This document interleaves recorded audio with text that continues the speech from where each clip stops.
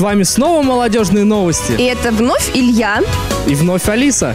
Илья, давай для начала расскажем нашим зрителям, как прошел диджей-фест. Давай, а еще мы расскажем, кто проводил мастер-класс для наших юных диджеев. Молодежные новости. Молодежные новости. Потанцевать под модную современную музыку при мощном звуке и свете в компании лучших друзей.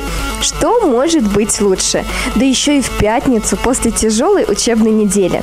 Многие уже поняли, о чем идет речь. В Ехве прошел ежегодный фестиваль молодых диджеев, который вот уже четвертый год подряд организовывает Центр культуры и интересов. Здесь молодые ребята демонстрируют свои навыки в таком многим непонятном направлении творчества, как диджейнг. Диджеев, дискоров, диск-жакеев, кто как их называет, но видел каждый. Несмотря на это, представление об этой профессии у всех разное.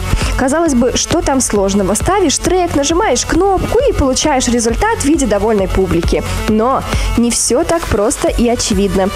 Долго мы на эту тему говорить не будем, так как о тонкостях этой профессии мы уже рассказывали ранее. Напомним только основные моменты. Хорошего диджея отличают качественное сведение или микширование треков, то есть переход от одной музыкальной композиции к другой, подборка материала. Диджей должен разбираться в технике. Хороший диджей имеет богатый музыкальный архив, который позволит работать с любой публикой. Ну и, конечно, он должен чувствовать народ. Если мы говорим о простых дискотеках, умение работать с микрофоном – это только в плюс. Этому и многому другому школьники учатся в школах молодых диджеев. Есть она и в нашем городе. Ну а фестиваль для каждого из участников – это словно годовой экзамен. Но расскажите, что вы сами ожидали от своего выступления? Вы же выступили, и как вам вообще понравилось? Сами себя оцените. Я мог бы получше, честно говоря. Мог бы получше. Я и так старался, подготавливался неделю-две. Помимо этого, просто у меня еще были дела как сессии. Ну, сдал сессии и взялся за работу с музыкой. Ну, что могу сказать? В общем, неплохо, да, но мог бы лучше. А ты долго готовился, и как у тебя сегодня вышло?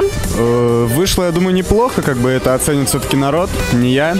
И мой руководитель, диджей Алекс. Э, В принципе, мне понравился мой сет. Э, Готовился я к нему недели две, наверное. У меня было куча свободного времени, я как бы и сидел и именно просто долбил этот сет. А что вам больше всего нравится в диджействе? Ну, музыка, конечно. Что же еще? Почему ты этим занимаешься? Ну, всем нравится музыка, все слушают музыку. Не знаю, просто мне нравится эта атмосфера, когда идет постоянный кач, когда люди танцуют по твою музыку, особенно когда им это нравится, тебе это еще больше заводит, тебе хочется качаться вместе с ними. Представьте для начала. Илья, диджей Бриллиант, руководитель школы диджей, Бл- DJ Lab. Рустам, диджей Рустам и ученик DJ Lab. Молодец. Таллинской школы DJ Lab. Ну что, э, расскажите, как вы нашли информацию о фестивале диджеев? Как решили приехать сюда? На самом деле нас э, пригласил один из организаторов, это Даниил. Э, Ну и, собственно говоря, мы решили принять участие, почему бы и нет. Интересно увидеть остальных, показать, э, кого мы вырастили, собственно говоря. Ну как ты готов сегодня? Какой у тебя сегодня подбор музыки, там сет? Как ты готовил долго? Нет, я его недолго готовил. Я буду играть EDM. И все, я готов. А как вообще долго ты этим занимаешься? М, Почти два года. И как у тебя успех? Ты сам чувствуешь продвижение? Да, есть продвижение. И в будущем твои планы? В будущем, не знаю, уеду за границу, там буду играть. Но очень понравилось э, оформление зала, очень замечательный звук, э, очень хорошая сцена, качественная. Молодцы постарались организаторы, очень приятно. По поводу ребят, выступления есть талантливые ребята, безусловно. Есть, конечно, и какие-то недостатки, недочеты, это видно, но я думаю, что это волнение, плюс возраст, ну что, бывает. Что чувствуют те, кто находится по другую сторону от диджеевского пульта? Девчонки поделились своими впечатлениями. Такие красивые. Ну расскажите, как вы сюда пришли, что будете тут выступать, там танцевать? Сначала наша Кристина будет петь, а мы будем танцевать с ней, а потом будет играть диджей, и мы будем на подтанцовке. Как вам сегодняшний день, сегодняшний фестиваль? Настроение супер, но пока что мало кто танцует. Будем ждать еще. Ну, на вас таки вся надежда. По традиции на фестиваль приглашается главный гость. В этом году им стал питерский диджей, диджей Прайс, который не только порадовал публику классным сетом, но и провел для начинающих диджеев мастер-класс. Наша Лена все-таки успела перед долгим декретом встретиться со старым другом и взять у него интервью. Что из этого вышло, смотрите в конце выпуска молодежных новостей. А это был репортаж с диджей-фестиваля. С вами были Алина Захарова, Денис Озеров. Молодежные новости. Молодежные новости. Молодежные новости. Приятно отметить, что даже в век развития компьютерных технологий учителя прививают детям любовь к прекрасному. Подожди, это ты говоришь о фестивале исторического театра? Именно о нем. А, так давай его и покажем нашим телезрителям. Молодежные новости. Молодежные новости. Команде молодежных новостей очень сложно посещать мероприятия в будние дни, потому как все мы работаем или же учимся. Но благодаря фестивалю исторического театра, который прошел в клубе Ахме, старшей группе СД Пати удалось не только повидаться, но и замечательно провести время, погрузившись в исторические зарисовки. Что же представлял собой этот фестиваль и почему он нам так понравился? Мы поймали одного из режиссеров-постановщиков и учителя истории по совместительству ЭПТ. Пожалуйста, расскажите, как пришла идея к созданию этого спектакля? Почему именно про Краль? А, ну, на самом деле мы хотели сначала э, поставить спектакль с ребятами более младшими. Однако, когда ребята увидели сценарий и почитали пафосные слова, они немножечко испугались и решили, что, наверное, они не совсем справятся. Поэтому мы собрали гимназистов, которые пришли на помощь малышам, восьмиклассникам. И таким образом поставили средне, ну, средневековую легенду легенды, наверное, проще ставить, чем а, исключительно исторические какие-то события, потому что а, легенда позволяет немножечко разгуляться фантазии, а исторические какие-то события ставить на сцене, это требует очень точности, четкости. Это скорее уже работа реконструкторов, чем э, театралов. Скажите, пожалуйста, а ребята знали эту легенду до того, как они прочитали сценарий? Или все-таки пришлось им что-то еще объяснять, какие-то там тонкости того времени и так далее? К моему удивлению, они не знали этой легенды. И вообще даже э, легенда короля Артуре они почти, почти что не читали. Э, поговорить, к сожалению, не удалось много, но, слава богу, у нас сейчас есть интернет. Ребята послушали аудиокниги э, и, и были готовы, вдохновились. Ну, может быть, так подытожим, наверное, вашим мнением как руководителя, как э, учителя истории, как режиссера, и сколько у вас ролей было в этом спектакле в плане постановки, ваш вердикт ребятам. Э, конечно, ребята молодцы, конечно, молодцы, но, однако, э, видя горящие глаза ребят, Хотелось бы действительно, чтобы традиция исторического театра продолжилась. Тем более, что говорили мы о том, что можно было бы сделать исторические постановки, исторические театры с коллегами уже давно. И вот оно свершилось, наконец-то, первый раз. И видя действительно энтузиазм в глазах ребят, хотелось бы, чтобы эта хорошая традиция все-таки продолжилась. Как отметила организатор фестиваля, учитель истории из Малевовской основной школы Юлия Смирнова, изучать историю посредством игры, особенно ролевой игры, это методика, которую используют многие современные преподаватели. Ведь примерив какой-то образ на себя, гораздо проще запомнить его характер, понять эмоции и чем жил тот или иной герой. Разнообразие тем, затронутых на фестивале, поражало.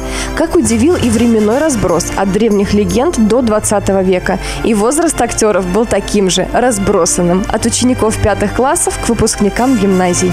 Два часа с небольшой паузой посередине – это время пролетело как мгновение, потому как зал замиранием замиранием сердца наблюдал за происходящим на сцене. Кто-то вспоминал школьную программу по истории, а кто-то вдыхал новые, неизвестные ранее истории. На сцене менялись персонажи, времена, декорации, а восхищенные зрители не успевали перевести дух. Юные таланты из различных учебных заведений нашего города поражали. Я хочу представить вам Лизу, девушку, которая выступала сегодня на сцене одна, но не в одиночестве, потому что, я думаю, все глаза зрителей были направлены на тебя и согревали. Каково тебе было на сцене? Э, скажу, что на сцене я не первый раз, и мне нравится, я живу этим. Для меня это как отдельный мир, в котором я могу находиться. Скажи, а вот тематику, да, выступления твоего. Я не говорю про это, потому что у тебя, я знаю, очень много выступлений, сольных и групповых. Э, тебе каждый раз нравится то, что ты читаешь? Или иногда все-таки очень тяжело приходится вжиться в эту роль? Э, Само собой, есть что-то легче, а что-то тяжелее. Но каждое выступление, которое мне помогают подбирать, которое для меня подбирают, это, ну, это что-то необыкновенное, и что-то новое для меня. Я все свои выступления очень люблю. Что тебе сегодня вручили? Мне вручили замечательный кубок фестиваля и браслет. Скажи, пожалуйста, в театральный поступать собираешься? Нет, у меня есть другое увлечение, куда я хочу поступить, на, ну, чем я хочу заниматься в жизни. И, возможно, как-нибудь жизнь меня свяжет с этим. Ты знаешь, женщине в жизни очень важно быть актрисой в любом случае, поэтому у тебя это уже получается. Мы тебе желаем удачи. Давай пожму твою талантливую руку. Вот, и всего хорошего. Хочется отметить колоссальный труд учителей и всех тех, кто имел отношение к подготовке ребят к фестивалю. Подобрать тему, написать сценарий, сделать музыкальное оформление, найти или смастерить костюмы – все это занимает кучу времени, сил и энергии. Но тот заряд энергии, который дали зрителю участники фестиваля, перекрывает всю усталость и потраченные нервы педагогов. Всеми участниками, организаторами и зрителями было решено фестивалю исторического театра быть и быть традиционным. Ну а то, что театральные традиции Ярвельской русской гимназии не дают ребятам забыть о старом добром театре, хоть и в его современном отражении, знают многие. Но немногие знают о скорой премьере нового спектакля от ребят из Ярвельской русской гимназии. И вот я в окружении очаровательных молодых мужчин из Ярвельской русской гимназии. Хочу заметить, что это моя родная и любимая школа, поэтому я с особым удовольствием с вами пообщаюсь. Андрей, ты у нас звезда, в принципе, ты уже у нас везде и всюду, и поэтому, наверное, именно тебе предстоит э, рассказать о театральном фестивале, который состоится 29 февраля, в день, который бывает раз в 4 года. Прошу. Очень, конечно, интересное совпадение по поводу 29 февраля. Мы тоже с э, ребятами очень долго над этим прикалывались. Театральное представление, э, в котором мы играем учеников, учителей элитной школы Уэлтон, очень интересно поставлено по фильму «Общество мертвых поэтов». Мы как бы с ребятами до того, как читать сценарий, мы смотрели фильм, мы обсуждали это все. Когда получили сценарий, очень долго радовались, кто какую роль получил, потому что у всех были свои любимчики в фильме. Вот. И теперь усердно, значит, пытаемся репетировать это все в школе. Вы знали вообще эту историю до того, как получили сценарий, до того, как стали смотреть фильм? Или это вот вам сказали, ребята, вот такая вот есть идея, давайте поставим? Некоторые из нас были давними поклонниками этого фильма. А Я лично узнал о нем только тогда, когда мне рассказали про вот театральный фестиваль. Сказали, что вот есть сценарий, но я тебе его пока не дам. Посмотри кино. Вот. Ты сразу знал, что ты будешь вот именно этим преподавателем? Да, мне сказали, что меня хотят назначить на роль учителя в постановке про элитную школу. А потом уже сказали посмотреть кино. Так что да, в принципе, я изначально, когда увидел э, исполнителя роли и саму роль, мне очень понравилось. Я хотел поскорее взять сценарий в руки. Что скажешь про мальчишек? Сложно ли юным актерам? Ну, ты-то у нас уже такой э, с опытом, да? Поэтому наверняка заметила, как ребята вообще ведут себя на сцене. Тяжело им или же все-таки они быстро вживаются в роль? Коллектив подобран, мне кажется, очень, очень здорово. Ребята все справляются. То есть есть, конечно, какие-то маленькие недочеты, но над этим всегда все работают. И, ну, как бы, даже люди с большим опытом, они все равно не идеально вписываются в роль с самого начала. А, Могу сказать, что с командой очень легко, очень интересно работать. А, Ребята классные, они стараются, это сразу видно. По возрасту ваша актерская, ваша актерская труппа какая? Самый старший 12 класс, у нас оттуда 4 парня играет. Самый младший это девятиклассники, то есть 4 года, в принципе, разброс небольшой, и на самом деле на репетиции даже не чувствуется вот этой разницы в возрасте, потому что все как-то на одной волне, то есть, э, в принципе, не чувствуется, что мы из разных классов, такой уже сплоченный коллектив организовался, но да, на самом деле, если брать по цифрам, то 4 года разницы между самым старшим и самым младшим учеником. Ну, в вашем возрасте это еще огромная разница. Но теперь такой вопрос немножко каверзный. Не мешает ли подготов- э, подготовка спектакля к подготовке к экзаменам государственным? Вообще ни капли. Отлично. Подготовка проходит по пятницам после уроков, когда времени хватает и на то, чтобы сделать э, домашнее задание, и на то, чтобы повторить роль. Так что, э, ну, график очень-очень удобный, подобран неплохо. То есть, как бы, ну и плюс с ребятами со школы после пятницы вместе э, пойти прогуляться в парке или, допустим, ну, пообщаться. То есть, в принципе, очень неплохо. Э, и экзамены не страдают, и театр все-таки как-то вот набирает обороты с, каждым, с каждой репетицией все лучше и лучше. Ну и, собственно говоря, как-то вот эта вот социальная такая структура, она укрепляется между нами. И, ну, раскрою же тайну, где произойдет этот замечательный фестиваль? А, Премьера будет э, в Доме культуры города Кохтла-Ярве, в недавно отреставрированном. А а потом мы уже поедем по другим театральным фестивалям. Э, Надеемся на симпатию зрителей, на гран-при, надеемся обязательно. Вот, э, то есть, конечно, чем, чем больше мы его покажем, тем, мне кажется, будет лучше. Мальчишки, ну мы будем держать за вас кулачки обязательно. Вы большие умнички, потому что я, в принципе, всегда восхищалась творческими мужчинами. Потому что одно дело девчонкам плясать, да, танцевать там или читать стихи, другое дело, когда это делают настоящие мужчины. Поэтому за вас держим кулачки, пальчики и обязательно держите нас в курсе событий. Спасибо обязательно. Удачи! Денис Озеров, Алиса Линтер. Специально для SD News.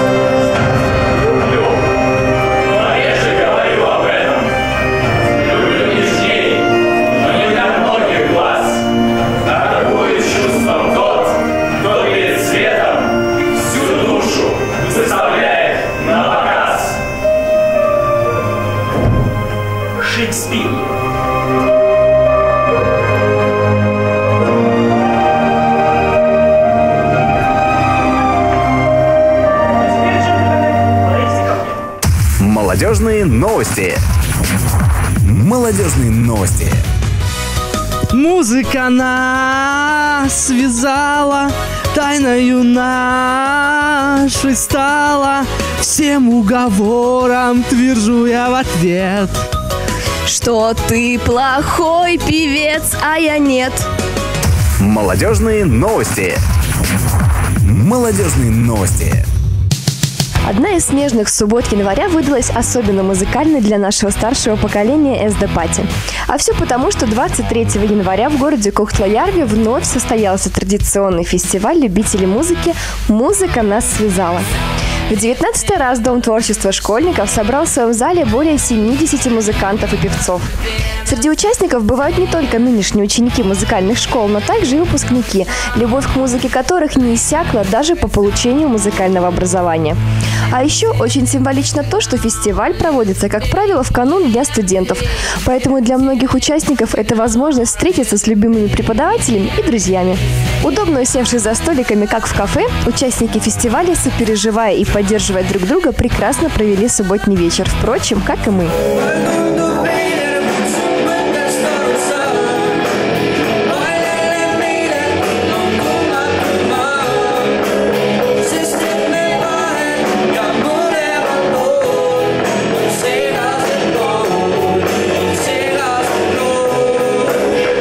Настроение у вас?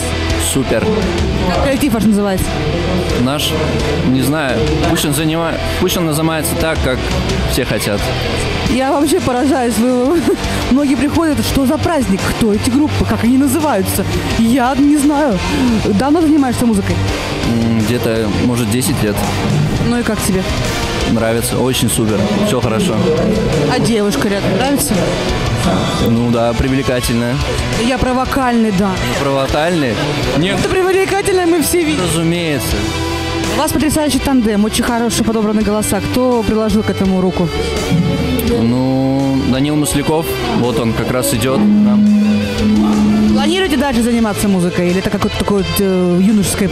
Ну, у нас последний год мы вместе как бы. И потом вот так. Какие твои планы в дальнейшем? У тебя прекрасно поставленный вокал. С таким вокалом очень жалко, наверное, забросить музыку.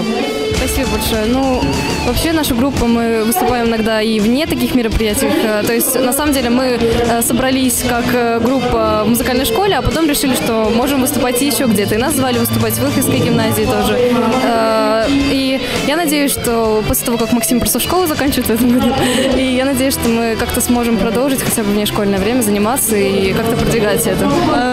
Надави на него, забери у него паспорт, я не знаю, там, э, ключи от квартиры, телефон мобильный. Мне кажется, то, чем вы занимаетесь, от того стоит. Вы молодцы. Огромное вам спасибо за прекрасно полученное удовольствие и творческих успехов.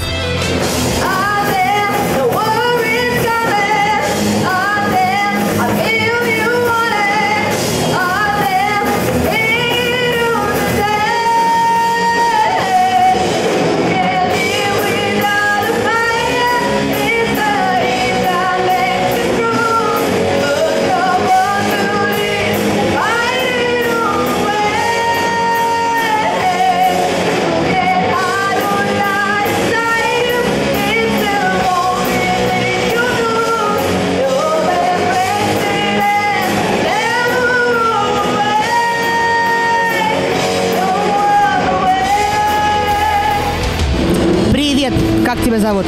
Здравствуйте, меня зовут Карина Полякова. Ты где занимаешься? Я занимаюсь в музыкальной школе Кофтла-Ярве, ну, в Ахме. Как давно уже занимаешься? Ой, уже, вот именно вокалом я занимаюсь около, ну, я занимаюсь вообще шести лет уже пою, но именно если официально занимаюсь, это около шести лет, наверное. Ну, ты понимаешь, что очень классно спела? Спасибо. Я... Нам очень понравилось, и я даже удивлена, что у нас в городе есть такого уровня таланты. Как планируешь дальше развивать себя? Я вообще планирую э, пойти на переводчика учиться. А если... Опа-на, то есть мы попели и на переводчика. Логика. А вокалом это хобби. Это как просто для души. Она мало того, что красивая, талантливая, она еще и очень умная девочка. А как тебе с группой живой поется? Это на самом деле очень здорово, это замечательный опыт. Я никогда раньше не пела с группой. Это вот первый, это, ну, второй раз, когда меня уже пригласили. ребята приняли вообще? А очень многих я знаю уже. Поэтому... А никакого такого неревностного ничего не было. А, девчонка будет петь у нас. А. Наоборот, все хорошо восприняли, очень дружно мы все. Ну, слушай, а нет такого желания там на Евровидение поехать от Эстонии? Нет, так и знала.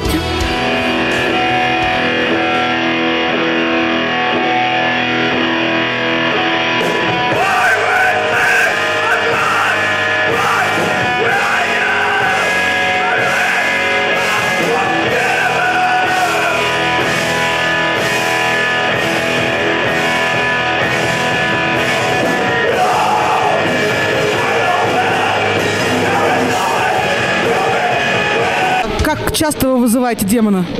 А, каждую, каждую пятницу. С 6, с 6 до 8.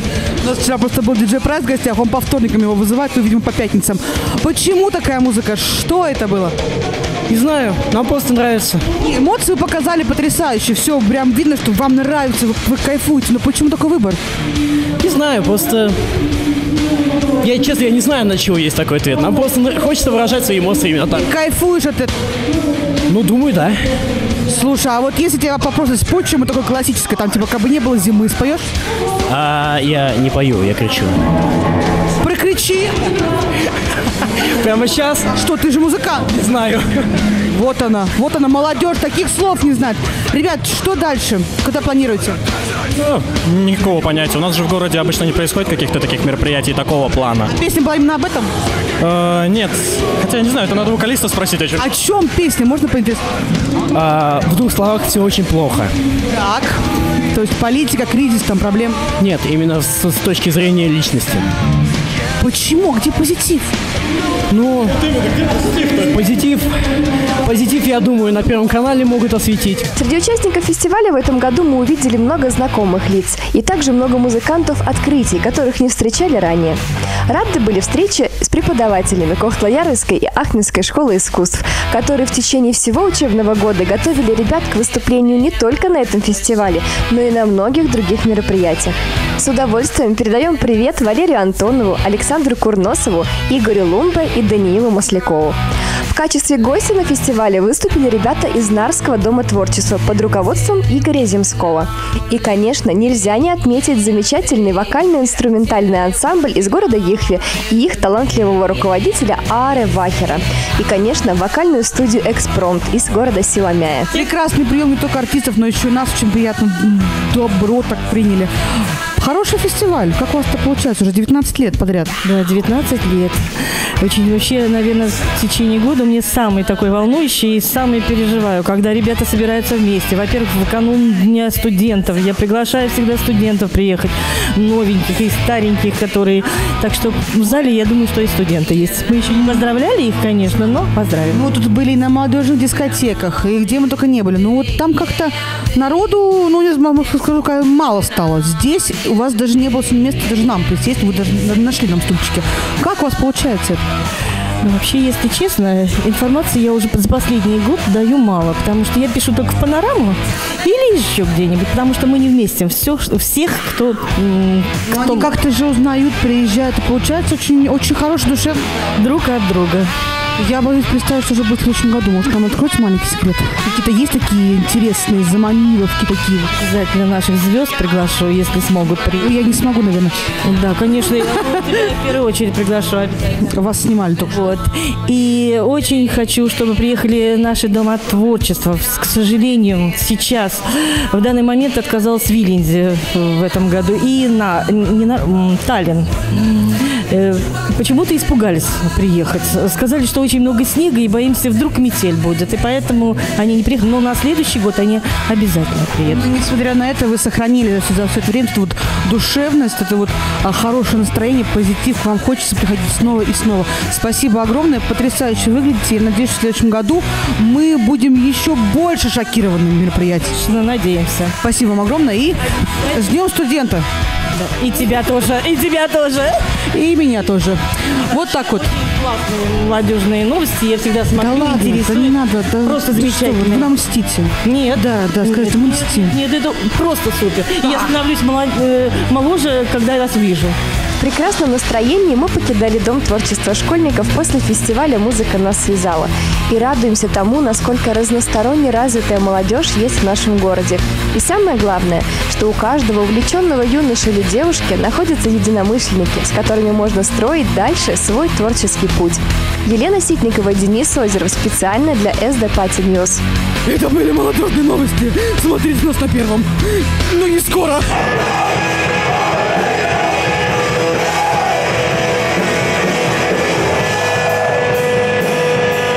Молодежные новости. Молодежные новости. Слушай, Алис, я слышал, что была неделя гимназистов Ахмедской гимназии. Было дело. Расскажи мне, что там было? С удовольствием расскажу и даже покажу. Опа, давай. Молодежные новости. Молодежные новости. Ах, как хочется вернуться в школу, где ты вроде уже взрослый самостоятельный, но тебя все равно контролируют, где тебе предлагают разнообразные возможности для развития и проведения твоего досуга. В Ахмедской гимназии есть традиция – устраивать в конце января неделю, посвященную гимназистам. В течение целой недели все внимание направлено на учеников 10, 11 и 12 классов. Каждый день имеет определенную тематику и цель. Понедельник носил гордое название День независимости или День без гаджетов. В начале учебного дня самые честные ученики сдали свои смартфоны классным руководителям и почти весь день обходились без них. А самые хитрые ученики сдали свои старые телефоны и украдкой сидели в интернете, тем самым показав свою слабость и зависимость.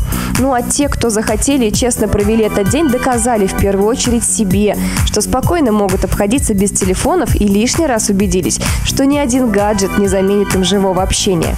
Во вторник ученицы 12 классов организовали для остальных гимназистов интеллектуальную игру про кино и кое-что еще. Было действительно интересно, и порой в зале был такой накал, что в воздухе смело можно было повесить топор, хотя в данном случае энциклопедию.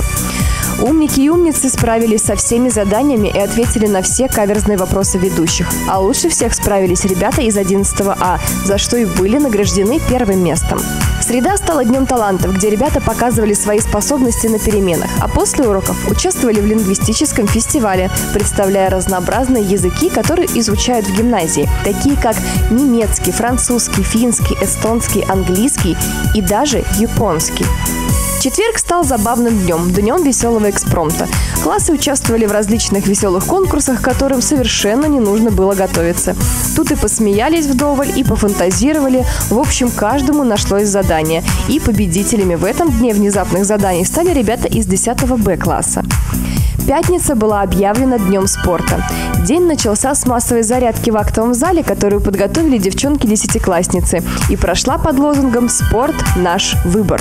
Ключевым здесь было слово «выбор», потому что свои спортивные занятия гимназисты выбирали сами. Кто-то отправился веселой компании на каток, кто-то играл в волейбол, а кто-то с удовольствием под руководством квалифицированного тренера Натальи Вос занимался зумбо-фитнесом. Причем мальчишкам зумба тоже очень понравилось. Помимо того, что ребята могли участвовать в различных мероприятиях, они также встретились и познакомились с различными интересными людьми. Гимназистам приезжали представители Нарского колледжа, которые зарядили слушателей положительной энергией на весь оставшийся день.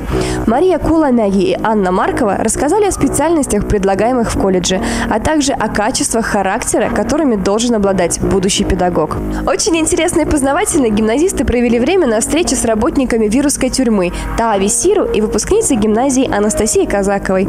Они рассказали о требованиях к поступлению в Академию обороны и об особенностях своей работы. Частым гостем в гимназии бывает Светлана Сафронова, представитель молодежной полиции Идовской префектуры. На этот раз она выступила с лекцией «Что значит совершеннолетие с точки зрения законодательства и какую ответственность несет совершеннолетний человек». Особенно приятными и волнительными были для ребят встречи с выпускниками Ахтунской гимназии.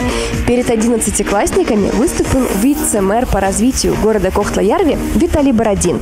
У ребят было много вопросов по поводу развития родного города. Особенно актуально это накануне 70-летия Кохтла-Ярви. Виталий рассказал о планах по обустройству центра Ахмельской части. Объяснил также, что каждый горожанин может прислать в Гору Праву свои предложения по поводу благоустройства Кохтла-Ярви. На тему ТТУ глазами выпускников Ахмельской гимназии выступили два прошлогодних выпускника – Роман Ехимович и Артем Шильман. Было интересно слушать об их успехах и о том, как они влились в большую семью студентов.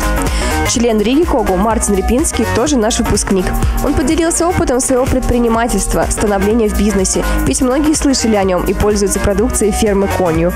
Каждая из этих встреч была важна для гимназистов. И здорово, что для старших школьников проводятся такие интересные мероприятия, где они могут не только показать свой талант, подурачиться и повеселиться, но и научиться чему-то новому, познакомиться с интересными людьми и задуматься о своем будущем. Дарья Фирсова, Алиса Линтер. Специально для СД News. Молодежные новости. Молодежные новости. Илья. Да. Илья. Да. Давай встретимся 26 февраля. Давай, где? Э, в концертном доме. Давай, что там будет? Э, Там будет супер крутая вечерюшечка. М-м. Под названием Like Boom? Тапсельт. Давай, я приду, и ты придешь. И мы- снимем репортажик. Давай. С Заметано. Все, давай Петру. Давай. Все. Поехали. Поехали. Молодежные новости.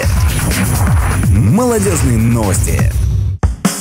26 февраля команда молодежных новостей отправится на тусовку. Настоящую молодежную тусовку, известную всем как Like Boom. Вечеринка, где любой пришедший может оказаться усыпан лайками. Ну, конечно, если будет что-то для этого делать. Like Boom – вечеринка, ставшая уже традиционной и ожидаемой. В этом году название тусовки звучит как Like Boom Style. Но, по всей видимости, будет оцениваться style нашей молодежи. Но мы уверены, все будет четко, по моде. Итак, Boom этого года затронет множество аспектов сложного и неоднозначного внутреннего мира молодежи нашей с вами современности. Э, о чем это мы говорим, спросите вы? Поясняем.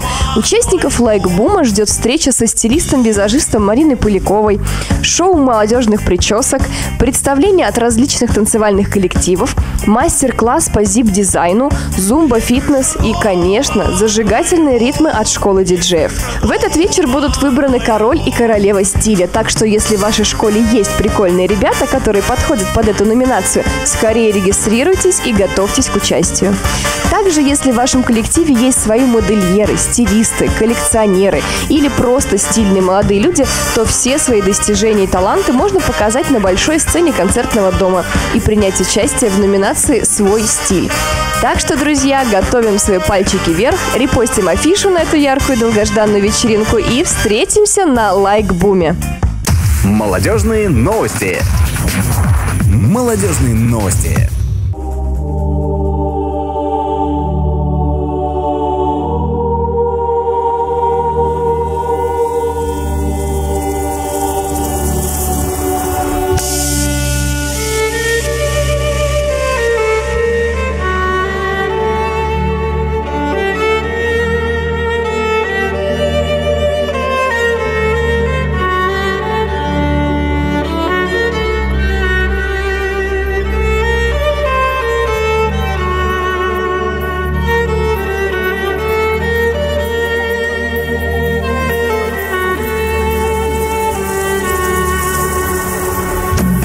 Городе есть свои традиции, те же ежегодные мероприятия, которые жители знают, любят и ждут. Но, к великому сожалению, на самом деле глобальных фестивалей, о которых знал бы почти каждый подросток, вне зависимости от того, на каком языке он говорит, таких у нас немного.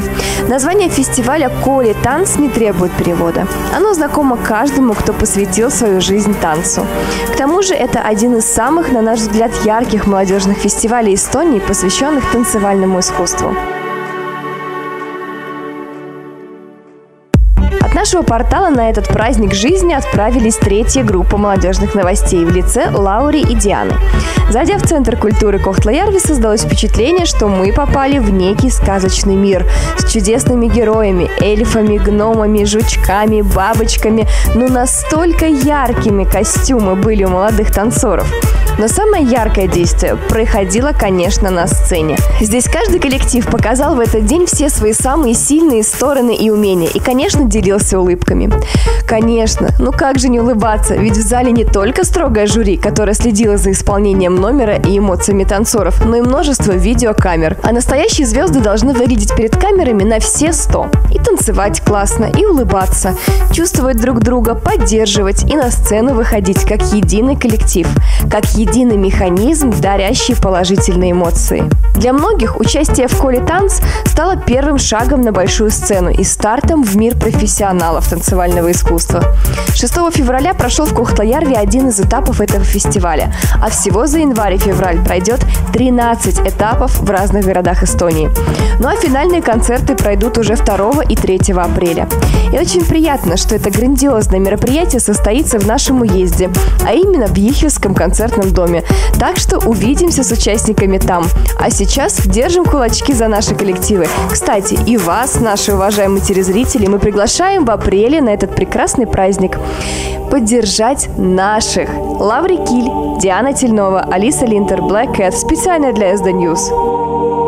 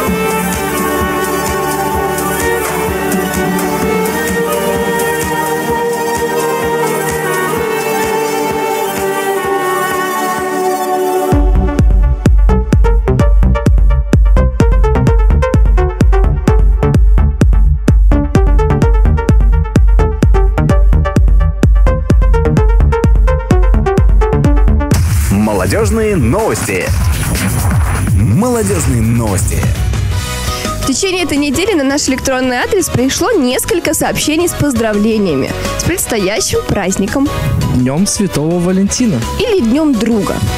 как его любят называть в Эстонии. Илья, давай начнем. Давай.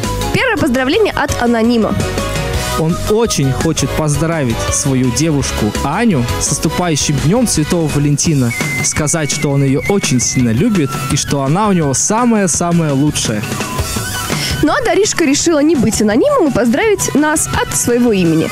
Она поздравляет нас, команду молодежных новостей, желает нам продуктивной работы, ну и, конечно, хорошего праздника. Знаешь, очень приятно. Соглашусь. Да. Но наш следующий зритель также решил не подписываться, но обязательно поздравить свою подругу. Анита, ты самая красивая, и совсем скоро ты найдешь свое счастье. Дорогие друзья, мы вас всех приглашаем 26 февраля в Центр культуры города Кохтла-Ярве. Где состоится праздник света. Вас ждет театрально-цирковое представление и представление световое.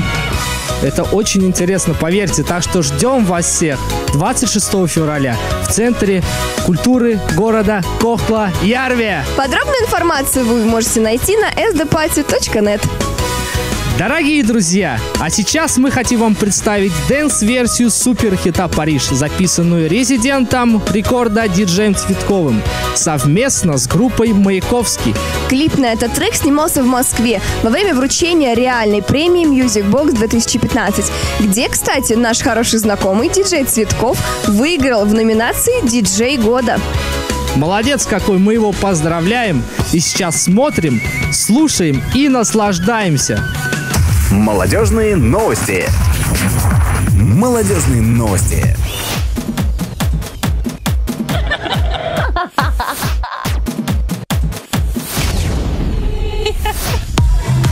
Здравствуйте, дорогие зрители молодежных новостей в Эстонии.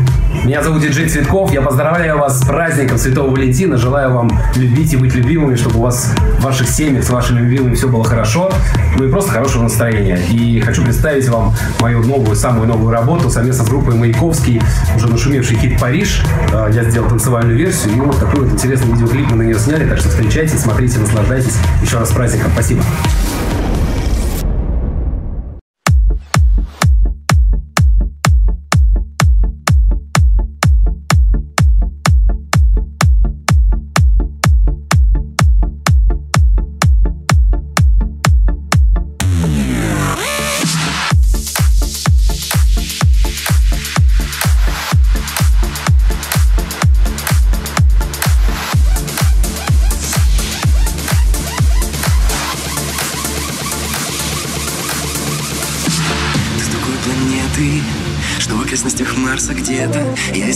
Всей вселенной между тьмой и светом.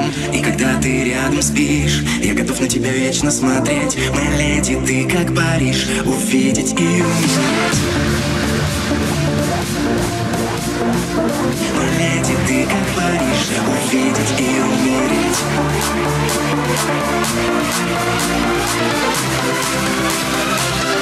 Увидеть и умереть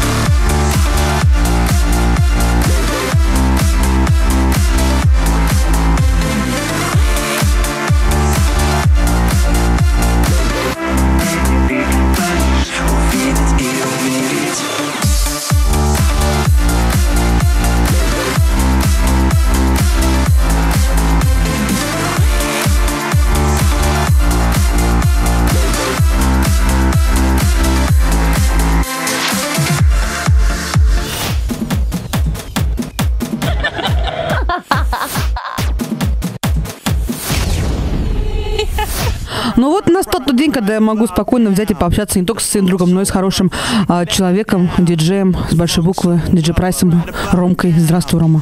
Здравствуйте, сегодня не вторник, но и не среда. Что за шутка со вторником? Расскажи, я пока просто не понимаю. Не знаю, у меня как-то зародилось уже давным-давно. Вот, в принципе, всегда меня спрашивают, э, когда. Я говорю, во вторник. Я возьму, наверное, пример с тебя, буду тоже всем от- во вторник. Ром, э, пара таких вопросов касаемо твоего творчества. Да не бойся, ты, я думаю, прик- ты же знаешь про свое творчество все, наверное, больше, чем я. Расскажи мне, с чего начал, чем заканчиваешь, что планируешь? Начал во вторник. Так, хорошо. Вот, а, собственно говоря, это было во вторник, посередине недели. Вот, дальше не буду, потому что шансон получится. А так, в принципе, как бы любил, любил музыку, электронную музыку. Ну, конечно же, на мое творчество повлияли как бы в то время как бы очень многие нелюбимыми, но сейчас обширные это были продиджи. Вот. Ну, твоя история начинается с промодиджи, то, что я э, про- про- про- прочитала, да, с 99 года.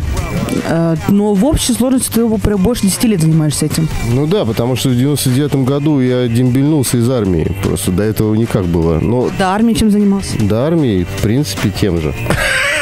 Был диджеем, ушел в армию, вернулся и снова... Да, школьным, был школьным диджеем. В принципе, организовывал э, в школьной дискотеке и Что как заставило тебя остаться в этой стихии?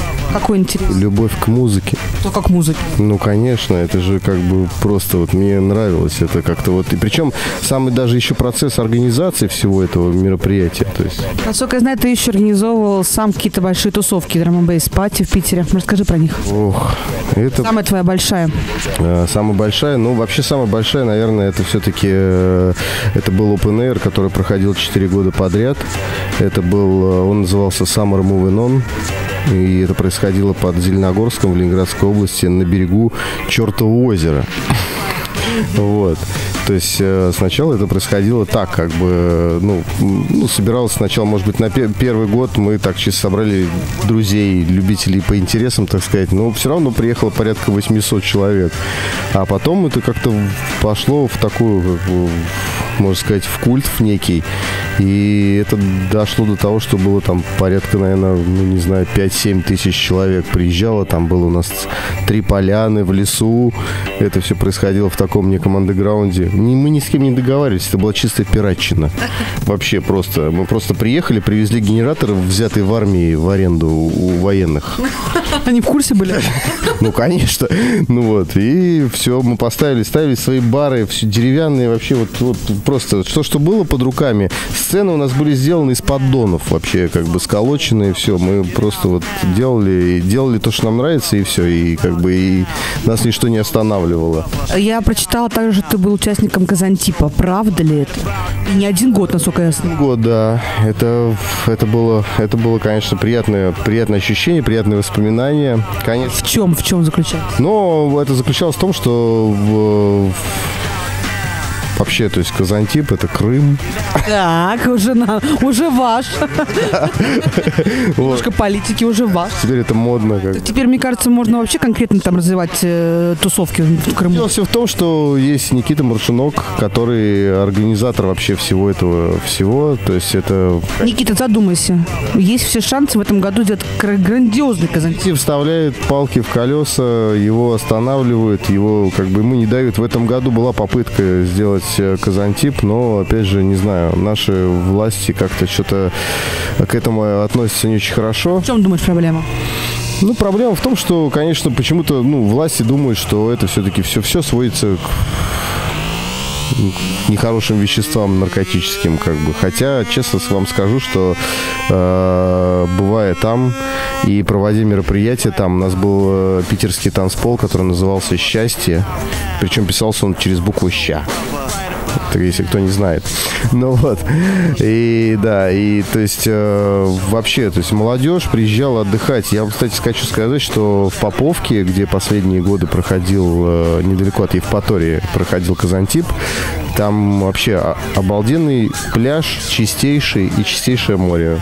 Ну, то есть Казантип это для всех такой, как бы, как клеймо, ну, какой-то нарко- наркотической такой вечеринки, где вот... Для всех. Это именно для вот э, органов власти, так скажем. То есть, ну, понятно, может быть, конечно, никто этого не исключает. Мне хоть одно мероприятие покажите, где такого нельзя про такое сказать, да, на самом деле, хотя, может быть, все и хорошо достаточно. Случай, где, да, электронная музыка звучит, э, тем более сейчас, как бы, э, ну и в принципе, может быть, и тогда, у всех сразу возникает такая ассоциация, что там собирается.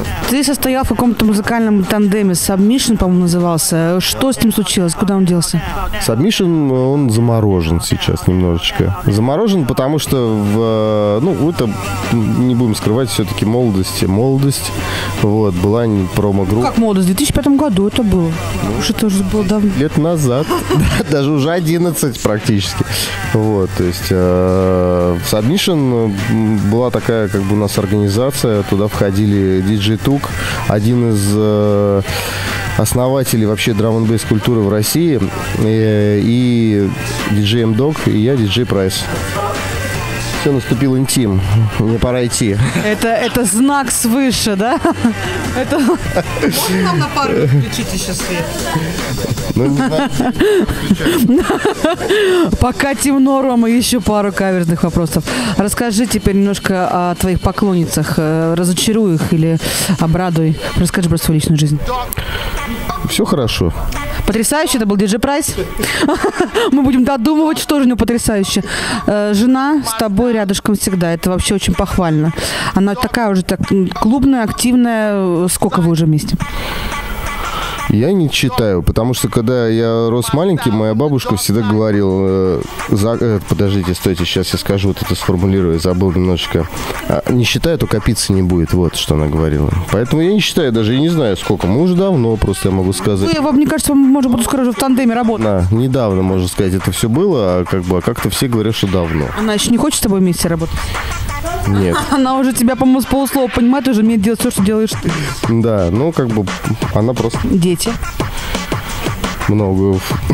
Много в планах, пока один, насколько я знаю, ребенок. Нет, двое. Двое. Да, Я плохо, видимо, знаю. да. Ну, я могу, конечно, раскрыть все рамки, это не секрет. Старшему сыну в феврале в этого года уже будет 17. Собираю в армию парнишку. Ну, а как ты не хочешь что ему дать напутствие, допустим, на диджейскую какую-то карьеру, или он будет другим путем идти? Он занимается довольно-таки, как бы он занимается творчеством, он, э, у него есть своя группа альтернативная, так скажем, то есть, не знаю, он там называет это постпанком, может быть, каким-то неким панком, но суть в том, что как бы у него своя группа, он играет, он вокалист и гитарист в группе. С музыкой связано. Да, пишет и пишет и исполняет свои песни как бы сам. То есть у него как бы своя такая музыкальная тема пошла, может быть, это так как бы заведено. Ясно, Ром. Ну и вот еще пара вопросов последних по поводу клубной индустрии. Не знаю, как в России у нас немножечко стало ослабевать и интерес у молодежи, и сами клубы немножко стали примитивны достаточно в плане программных каких-то вещей, то есть в плане интересных мероприятий. Что в Питере? Ну, в Питере, наверное, то же самое. Ну, у нас просто... про- С чем это связано? Как ты думаешь, как у диджей, который уже столько лет работает, который видел все подъемы, все спады? Я хочу вам сказать, что рассказать одну историю, что вот в 2005 году ко мне приезжал друг из Англии, тоже музыкант, A-Sides. Он драм н но вообще, на самом деле, он пишет музыку для телеканала Discovery. Вот, э, такой очень человек. И вот тогда, еще давно, в 2005 году, он мне сказал, что, типа, ты знаешь, Рома, вот все хорошо, у вас сейчас как раз у нас был бум этих рейвов, больших крупных мероприятий. Он сказал, что типа у вас скоро это все пройдет. Вот у нас в Лондоне уже давно сейчас такая пошла мода, что типа будет э, типа барная тема. То есть э, максимум 100-150 человек, бар, э, будут собираться люди по интересам, и музыка будет больше для фона, нежели чем для танцев. То есть кому-то, если хочется танцевать, они будут танцевать. А так больше люди будут собираться для общения, сидеть там за барной стойкой, либо за столиком. Потому что сейчас э, всемирно всех поглотил интернет. Раньше, вот недавно мы вспоминали с друзьями, мы все, всю информацию по, по клубам, по, по привозу всех всяких э, разных гостей мы узнавали. Мы ездили в центр города, на Сенную площадь, там... э, на, Афиши, реклама. Опрашку, да, у нас было любимое излюбленное место, место в Опрашке на углу. А Мы ездили, смотрели афиши, там было такое все обклеено, все это было опять же по-пиратски, никто не давал на это разрешение, эти афиши могли содрать, и мы не могли узнать, кто же приезжает. как. Сейчас такой большой возможностью информации именно в плане мероприятий ее, к сожалению, и нет. Получается. Да, ну и потом сейчас все-таки у молодежи, наверное, все- я так обратил внимание, больше идет э, мода на то, чтобы заниматься спортом, там, да, свое тело там структурировать, чтобы там нравиться девушкам, либо девушки, чтобы нравились молодым людям, там они выкладывают там селфи. Не, ну ты мне нравишься нормально. Немножко разбавить, так это обстановка. Кому-то губы, кому-то баночки там и все так далее, как бы. Сам ходишь в зал? Никогда. Да. Слушай, с тобой можно говорить на самом деле бесконечно. Э, Буквально э, вопросик о том, э, что думаешь делать в ближайшие пять лет. Пять лет? Так, Скажи нам про свои планы, только честно. музыкальные? Любые, Рома, любые. Ты настолько свободный в этом плане человек, что можешь нам, мне кажется, про все что угодно рассказать. Про, про все свои вторники расскажи. Про все вторники. Значит, во вторник. Так. Не, ну если, если честно, если честно, то, конечно, конечно, все равно мы пытаемся, мы, я говорю не о себе во множественном числе, а есть, есть все равно группа людей, да и вообще, вообще музыкальная тема, вот если человек музыкален, он когда-то что-то организовывал, либо что-то пишет, он в любом случае, можно назвать его даже наркоманом, пускай это плохо Ты себя считаешь наркоманом? Музыкальным, да, потому что если со мной что-то в музыкальном плане не происходит там в течение недели, мне становится плохо. То есть ты завязывать не собираешься? Нет, конечно. Вот это, то есть, и твои стихи драм бейс не боишься, что в скором времени драм бейс уже немножко э, утихнет? Или все-таки ты веришь, что будет опять такой подъем, который был буквально вот э, пару лет назад? Ведь был же бум драм бейса, был. Да, конечно. Сейчас идет спад, согласись. Как ты думаешь, будет опять снова подъем? Мы будем смотреть э, как бы так, что, возможно, сейчас скоро и клёши вернутся в моду.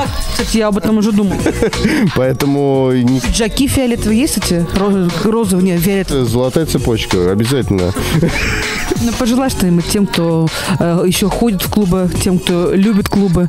Э, мало- я молодежь. Друзья, друзья, молодежь и взрослые, и дети. Э, Понятное дело, что э, возраст мой, который, да, там, может быть, люди постарше, они уже перестали ходить в клубы, слушать музыку дома, в машине. Это все понятно. И, в принципе, ничего в этом такого особенного нету. А Самая основная боль, то, что наша молодежь сейчас вообще перестала интересоваться э, не обязательно электронной музыкой, вообще любой музыкой, джаз, там, не знаю, Э, Они просто привыкли слушать то, что им показывает телевизор. Друзья, пожалуйста, послушайте себя. Может быть, вам вовсе не нравится та музыка, которую вам показывает MTV и вот это, что там, РУ-ТВ или как оно там называется. Пригласи всех в Питер. Да, обязательно приезжайте в Петербург. а, И обязательно не ходите в клубы, которые вам рекламируют. Знаешь, в Питере много подпольных таких андеграунд клубов. Мы немножечко как-то объезжали с тобой. О, немножечко. Я посмотрела всю интересную эту жизнь клубную. в клубе в Петербурге есть э, очень много мест, которые находятся, и они никак не рекламируются, у них нету никакой вывески. Вы просто заходите в центре города между домами в какую-нибудь арку, и там... Дайте клубную жизнь. Да, и там есть э, некая потайная дверь, у которой нет никакой вывески.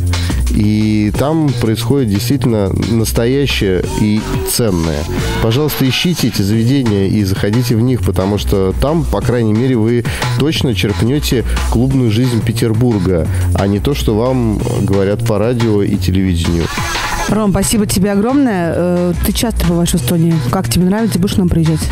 Я очень люблю ездить в Эстонию. Мне нравится. Курс, конечно, дает о себе знать. Подожди, он скачет, как и клубная индустрия в наше время. То вверх, то вниз. Так что будем надеяться, что скоро снова будет, э, как хотим мы, европейцы. Вот, но это был Роман, это была я, это были молодежные новости. Надеемся на дальнейшую дружбу с тобой, сотрудничество с тобой. Всем здоровья. Вот такой вот простой, добрый, веселый диджей прайс. Ну и удачи тебе в Питер. Ты тоже к нам в Эстонию заходи. Молодежные новости. Молодежные новости.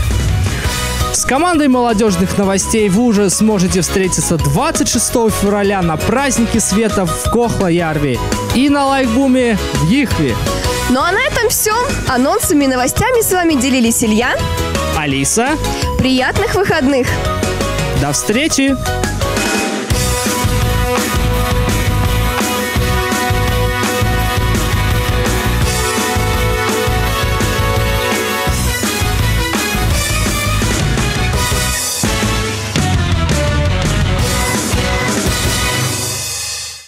Как мне Ах, верни, Саша, ах, верни, Саш.